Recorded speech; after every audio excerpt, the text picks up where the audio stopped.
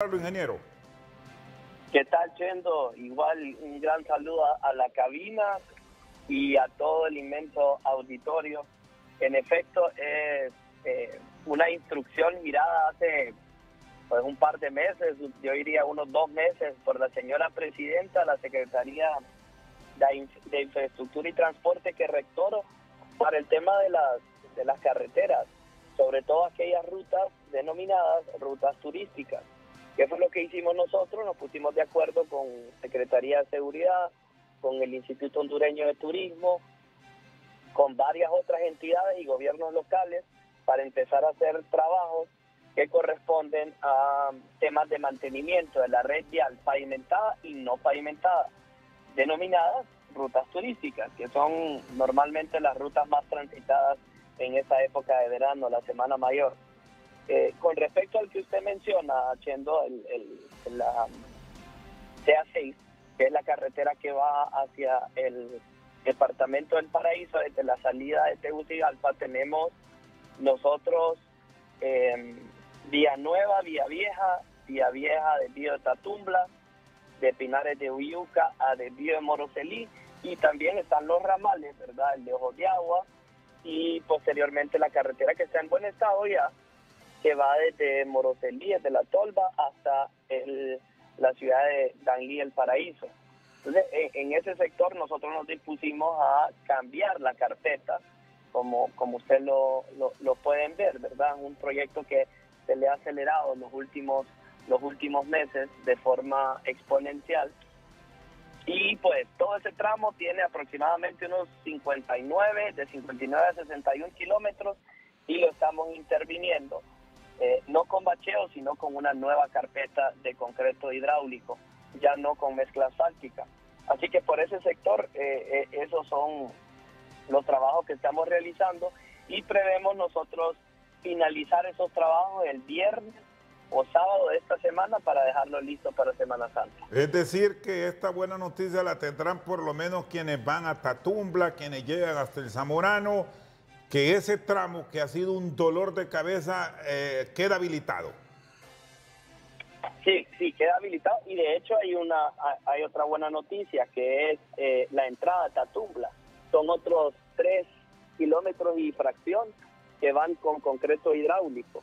Ese ese proyecto ese proyecto nosotros lo tenemos contemplado y ya iniciaron, ya llevan sus primeros 300, 400 metros lineales por parte, ingeniero, porque aquí están entrando llamadas. Dice, pregúntele por. además, aquí tengo. por el paraíso, ¿no? No, aquí tengo Para, que, para que usted siga, pero eh, tenga claro que aquí tengo varios mensajes que están preguntando por algunos tramos. Bueno, por supuesto quieren saber si están por lo menos en proyecto. Nos dicen aquí, pregúntele cómo va a estar el sector, la carretera hacia Coyolito. Esto es para los que van para el sur. Y pregúntele por el tema de la señalización Monjarás, Cedeño, Mangles, Choluteca. Ok, con el tema de, de, Coyolito, el del día de San Lorenzo hasta el puerto que te lleva a Mapala, tiene aproximadamente como unos 32, 33 kilómetros. Ya rehabilitamos 14 kilómetros, entre 12 a 14 kilómetros. Ahorita estamos y, lo que rehabilitamos fue como en el sector del medio, Chema. Entonces nos queda el tramo A, el tramo B ya lo tocamos, nos queda el tramo A y el tramo C. Nosotros en el tramo A y el tramo C estamos haciendo bacheo ahorita y señalización previo a la Semana Santa. Y esa es como la primera etapa porque lo mismo que hicimos en el tramo B, que es el recarpeteo, lo mismo vamos a hacer para el tramo C y el tramo A. Ahora, con el sector de la zona sur, alcalde, iniciando por la carretera, que hay medidas paliativas, y luego también estas zonas turísticas, como le repitió Chendo, lo de Coyolito, pero vamos más allá, en el sector de Cedeño, porque nosotros recientemente fuimos y es una calle que está accesible, pero para camionetas o para carros pailas. Ya para un carro pequeño se dificulta la llegada hasta las playas y esto imposibilita también el recurso económico que llega hasta, estas, hasta estos sectores eh, públicos y turísticos. Y ahí estamos en Cedeño y ahí eh, es una una carretera no pavimentada. Hay, hay dos sectores, también está la parte de Punta Ratón y eh, desde, usted me menciona desde Monjaraz a Cedeño, ¿correcto? Donde está la playa del Edén, la playa del Venado, donde están todas esas playas, los cocos. Los mangles. Los mangles. esa, esa parte em, nosotros no la no tenemos ahorita intervención en ese punto y lo que nosotros hicimos el fin de semana, tenemos máquinas cerca y vamos a, mover máquinas cuatro o cinco días que nos quedan poder avanzar en algo. Y la carretera al sur, eh, permíteme que haya unos paliativos. La que la de y la de los otros sectores.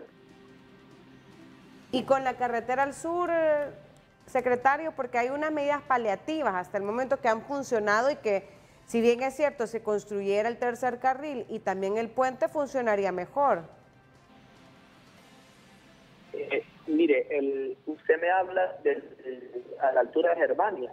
Correcto. salida al sur. Correcto. Mire, lo de la, altura de Germania, el puente, es... Eh,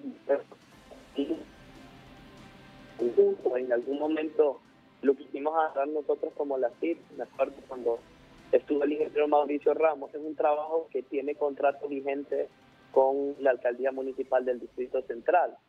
Eh, entonces, por ese lado, nosotros le, dimos a, a Hito Aldama que le, le, damos trabajando también. estamos, estamos teniendo problemas con